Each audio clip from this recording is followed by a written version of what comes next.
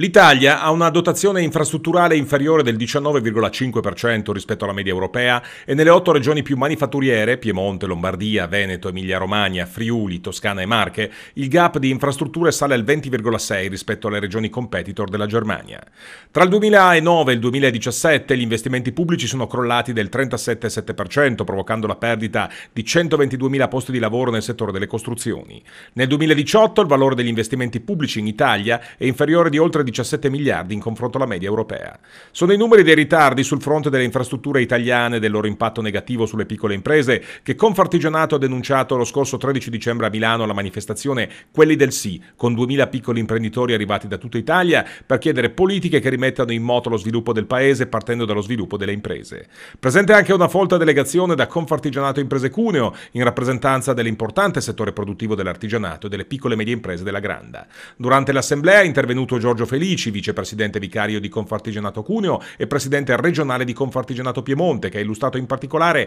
le criticità legate alla TAV qui per riportare su un piano di pragmatismo un tema che invece è stato ideologicizzato, come spesso capita in Italia, che è stato gestito in modo approssimativo, nella fattispecie quello della TAV, ma in Italia abbiamo anche tanti altri problemi che sono frutto di una gestione ideologica, la fiscalità ad esempio. Noi oggi siamo qui per dire allo sviluppo, alle infrastrutture, a ciò che serve questa nazione per smettere di essere non competitiva rispetto agli altri nostri colleghi degli altri paesi europei. Le infrastrutture devono essere completate e connesse con decisione, senza perdere altro tempo, perché ogni minuto che passa le aziende nostre perdono soldi, perdono la possibilità di esportare. Già l'export è un traino per la nostra economia, diciamo che le infrastrutture una volta completate costituirebbero un moltiplicatore che ci porrebbero sicuramente molto al di sopra dei livelli dei nostri concorrenti. È un suicidio non completarle. Oggi qui c'è il nostro mondo e, e che sono tutte le associazioni nostre territoriali, ma c'è anche la micro e piccola impresa, che in questo paese è il 99,4%.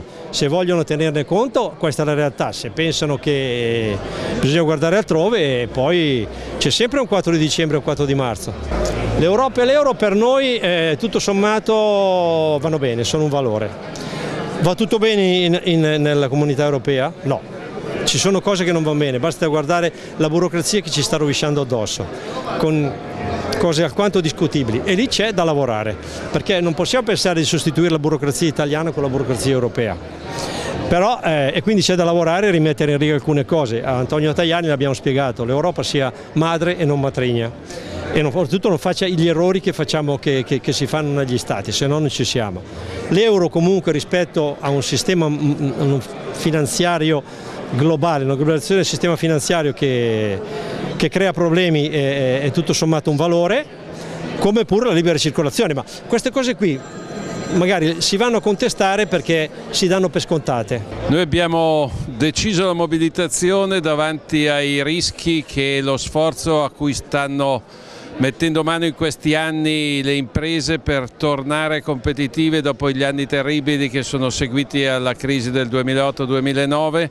eh, questo sforzo, perché questo sforzo non, non venga interrotto. Eh, è un segnale che vogliamo dare chiaro al governo nel momento in cui sta mettendo mano alla legge di bilancio, ma anche per l'azione complessiva che deve per noi essere nella direzione dello sviluppo. È una giornata importante in un, eh, diciamo, in un contesto bellissimo che vede una grossa partecipazione delle aziende italiane, della piccola impresa per ribadire questo sì allo sviluppo, sì alle infrastrutture, sì a tutto ciò che crea lavoro e dà la possibilità al nostro Paese di competere rispetto ai mercati nazionali e internazionali. Quindi un momento sicuramente emozionante di grande partecipazione che eh, ribadisce il ruolo politico-sindacale della nostra organizzazione che si pone come soggetto che guarda non solo all'interesse della categoria ma all'interesse del Paese. Sviluppo della piccola impresa, sviluppo dell'imprenditoria vuol dire sviluppo sviluppo del Paese Italia e questo noi lo ribadiamo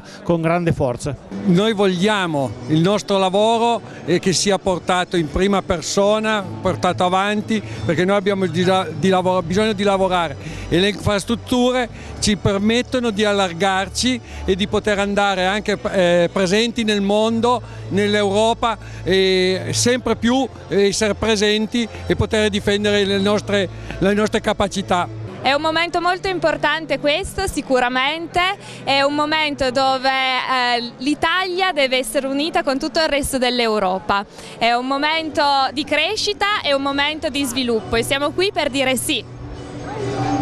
le infrastrutture sono fondamentali per la ripresa economica del paese. Se si pensa che a Cuneo non riusciamo a fare quel piccolo tratto di autostrada che potrebbe collegare il nostro capoluogo di provincia con il resto della regione, immaginiamoci i danni a livello nazionale, cosa può eh, ripercuotere sulle nostre imprese la mancata prosecuzione dell'alta velocità. Quindi è fondamentale dire sì e continuare con cosa è già stato iniziato. Il eh, movimento donne è sempre attivo anche sui piani di lavoro, soprattutto per quanto riguarda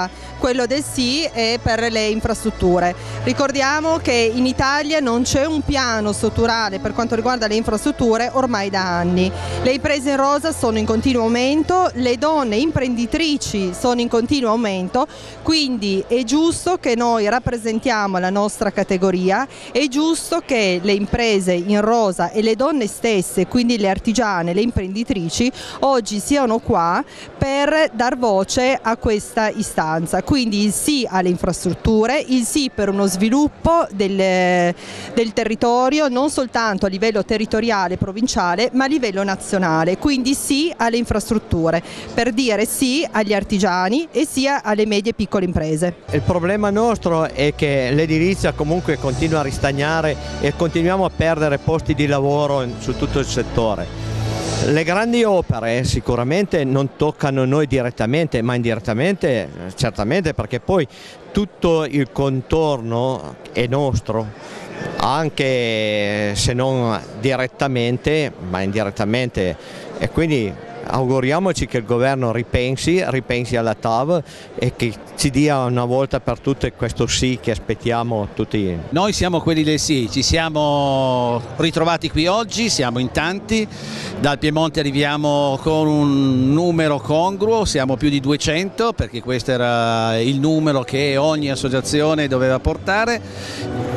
quello che posso dire è che partendo da Torino col SITAV noi siamo quelli del sì, ma non solo per la TAV ma per tutte le infrastrutture che ci sono in Italia. Con Farginato Cuneo non poteva mancare a questo appuntamento, noi siamo quelli del sì, sosteniamo le infrastrutture, sosteniamo lo sviluppo dell'Italia, le nostre imprese hanno bisogno di infrastrutture sia fisiche che anche telematiche per poter accedere ai mercati, per poter accedere all'Europa e a tutti i canali di sviluppo della nostra economia. Oggi si parla molto dei corpi intermedi, i corpi intermedi hanno una funzione strategica per lo sviluppo dell'Italia, non si può disintermediare il rapporto che c'è tra la politica e le imprese, crediamo che attraverso la rappresentanza sindacale, la rappresentanza degli interessi si possa fare il bene delle nostre imprese e il bene del Paese.